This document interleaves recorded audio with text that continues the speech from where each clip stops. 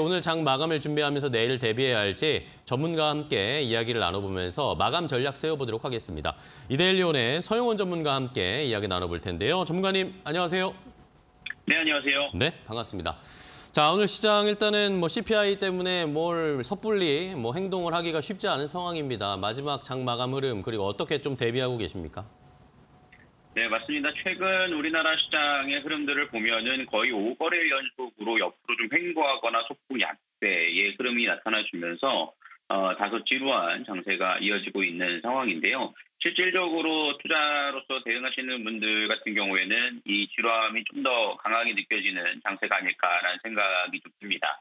어, 역시나 이 점은 결국 CPI 발표를 앞두고 있고 FOMC 회의를 앞두고 있는 상황이기 때문에 어, 외국인 수급이나 기관 수급들 역시 한 방향의 포지션을 취하기보다는 어, 좀 양방향의 리스크 해지가 좀 이루어지고 있는 상황이다라고 좀 보실 수 있을 텐데요.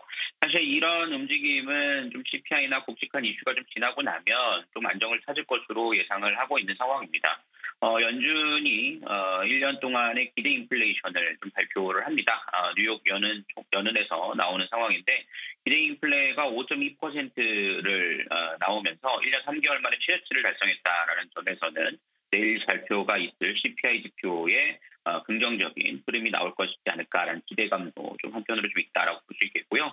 그로 인해서 지금 미국 선물 시장도 방금 좀 상승 전환을 했다라는 점도 기대감이 높다라고 볼 수 있겠습니다. 그로 인해서 시장은 어, 좀 약과권의 흐름이 이어지고 있는 상황이고요.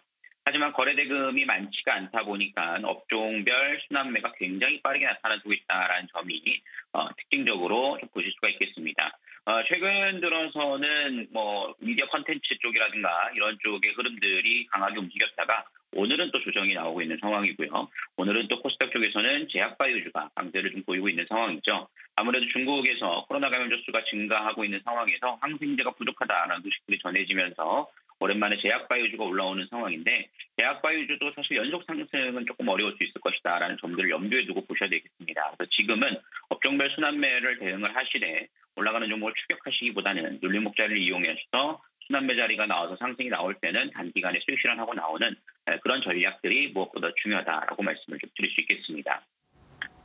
네, 자 오늘 시장의 마무리 전략을 좀 소개를 해주셨고 이제는 중요한 것은 결국에 오늘 밤에 우리 시간으로 오늘 밤에 미국의 CPI 지수가 발표가 될 텐데 발표가 되고 나서 내일장 내일 저희가 어떻게 좀 대비를 해야 될까요? 네, 우선 CPI 지표가 예상치보다 좀 하회하는 흐름들이 나타나 주는 여부가 상당히 좀 중요할 겁니다.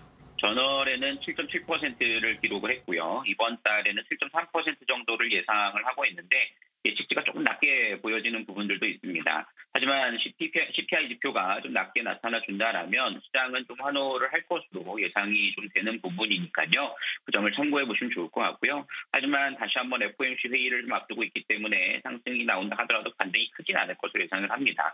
그렇기 때문에 지금은 좀 이슈가 강한 쪽의 섹터의 흐름들을 좀 중점적으로 좀 살펴보시면 좋을 것 같은데요.